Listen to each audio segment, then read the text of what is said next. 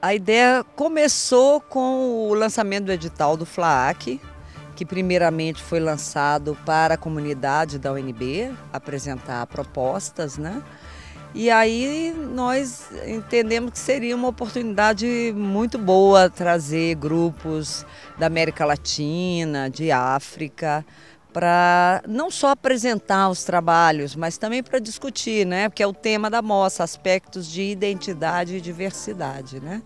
Entre América Latina, África e Brasil. Então nós fizemos essa redução que é o que nós estamos apresentando hoje aí, e com grupos da Colômbia, do Chile, Argentina, de Espanha, é, de São Tomé e Príncipe, que é o representante africano na mostra, e os grupos brasileiros, né, incluindo um brasiliense. Muita gente, é, o pessoal, quando olha para os bonecos de luva, especialmente, eles acham que aquilo é muito mágico, que você é alguém sobrenatural, que aquele é todo fundamentos técnicos mesmo. A oficina é curta, você pega três, quatro oficinas e já tem, um, tem uns mínimos, não?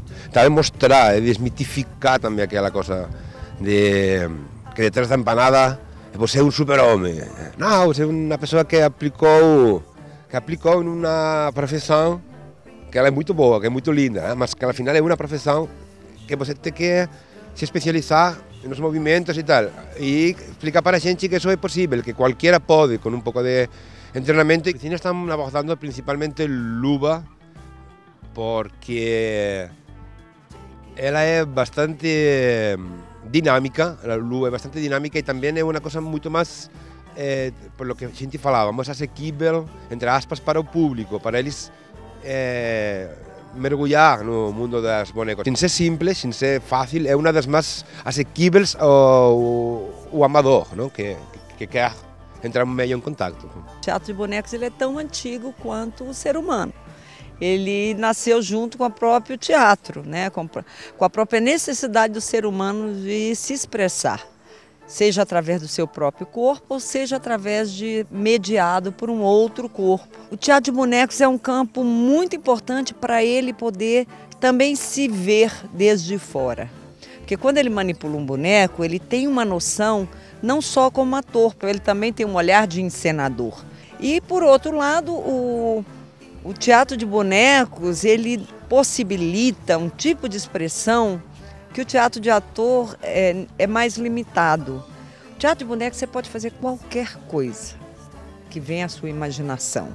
Né? Então ele, ele tem essa capacidade de, de representação do mundo, de expressão é, diferenciada. Não vou dizer melhor nem pior, ou não vou colocar em escala né, de hierarquia, mas diferenciada né, do teatro de atores depois ninguém lembra de você. Todo mundo lembra do personagem, lembra do que for. É meio, é meio a antítese do actor de, actoral, do actor de pessoa. Não? É pensada em qualquer tipo de pessoa. Daí, por exemplo, pode, ela é muito essencial. Aí pode vir um profissional e ao final eh, não habrá sacado muitas coisas novas, não.